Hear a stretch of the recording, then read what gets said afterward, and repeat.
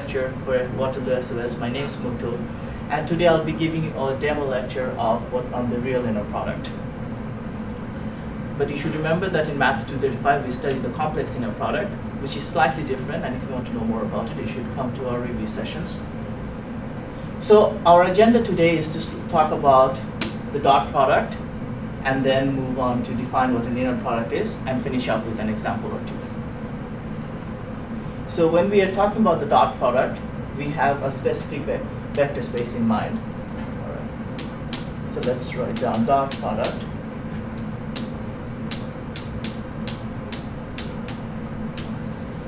In fact, I have an even more specific space in mind than usual. So I will only be considering, say, R2.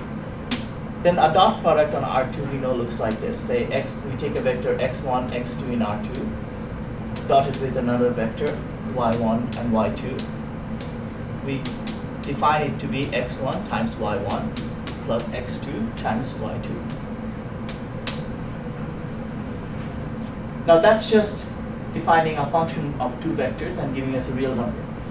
What we notice is that it satisfies some specific properties, namely that of symmetry. And what does symmetry mean? It means that if I flip the x and y here, and my dot product doesn't change, how do I show that? It's just saying, well, x1, y1 plus y, x2, y2 is the same as y1, x1 plus y2, x2. This we know from dealing with real numbers. And that is exactly what I mean by y1, y2 dotted with x1 and x2. And that's what I mean by symmetry. All right. The next big property that it satisfies is that of linearity. Strictly speaking, it's bilinearity, but for all means, we'll just consider the first component. By linear, what, what I mean by linearity is that if I take a linear combination, it's a lambda times x plus um, mu times y, and dotted with the vector z, that will have to break up as lambda times x dotted with z plus mu times y dotted with z. From experience with the dot product, we know that this is true as well. And the third big property is that of non-negativity.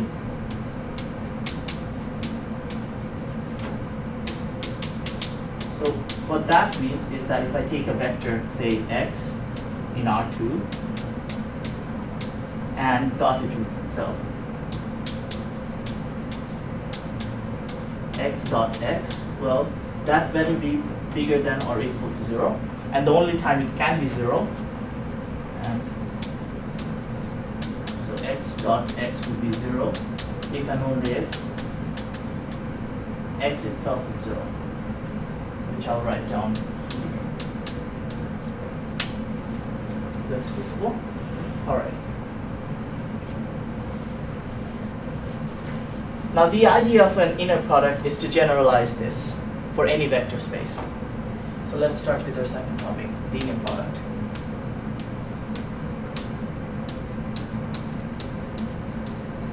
In this case, we consider a general vector space, say V. So V would be a vector space. And elements of V, I'll label them say as V, W, and say U, V, and W are elements of the vector space, so they're vectors. Now, an inner product then would be defined to be a function which we write with a fancy curly bracket that takes two vectors and gives us a real number. So it takes, say, a vector v and another one w, and the inner product, the way we write it like this, is just a real number. And the defining properties of inner product are also the same as that of dot product. In particular, that it will have to satisfy symmetry, which means that inner product of v and w is the same as inner product of w and v, and linearity, which means lambda times u plus mu times v, inner product with w, would have to be lambda times u inner product with w plus mu times v inner product with w. Again, word of caution, these things change a little bit if you go into complex inner products. And the last property of non-negativity, which I'll move into this board,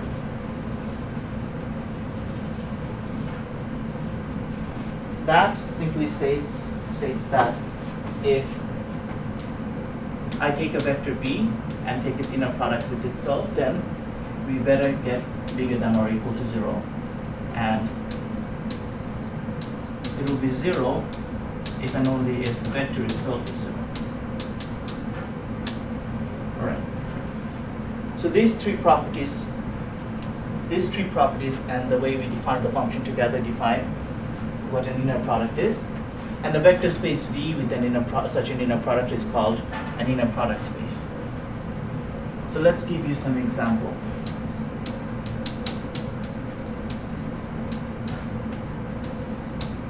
We know for sure that second degree polynomials, the space of second degree polynomials P2 is a vector space. So let's say I take up and the two elements P and Q of P2. That means they're polynomials of order 2, of degree 2. And then I define my inner product to be, or I define a function to be this. P with Q, the way I've calculated as P times 0. P evaluated at 0 and Q evaluated at 0 plus P evaluated at 1 multiplied by Q evaluated at 1. So this is a real number, this is a real number, that's a real number, that's a real number. I'll be a bit more explicit, but what I'd show in this example is that this space cannot be an inner product space. Uh, As in particular that this function here is not an inner product.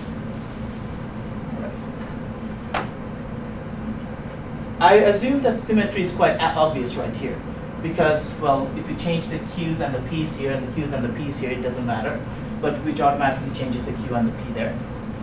And I would not go into talking about the linearity, but what I want to show is that this function definitely does not satisfy the non-negativity. How do I show that? Say I take a particular polynomial given by p of x is x squared minus x. So this is a perfectly good second degree polynomial. Notice that p of 0 is 0 minus 0, which is 0. And p of 1, it's 1 minus 1, which is also 0. So then, the inner product of p with itself, well, that's just 0 times 0 plus 0 times 0, which is a big 0. However, the polynomial that we started with is not the zero polynomial. So this tells us that therefore function is not an inner product.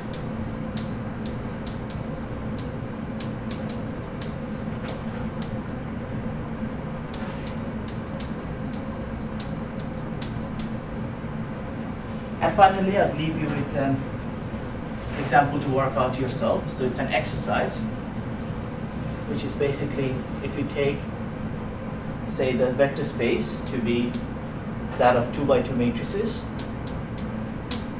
let's say A and B are two 2 by 2 matrices and I'll define the inner product between A and B to be or a function on A and B to be the trace of A transpose B.